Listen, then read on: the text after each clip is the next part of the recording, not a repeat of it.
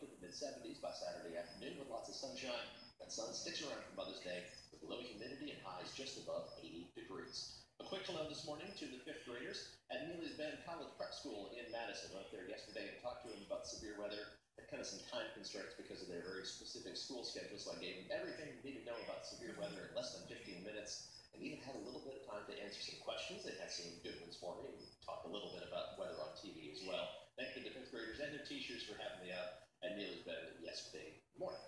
What a fun group, too. Thanks for sharing. Good morning, Evanston. All right, taking a look at some of our top stories for you this morning.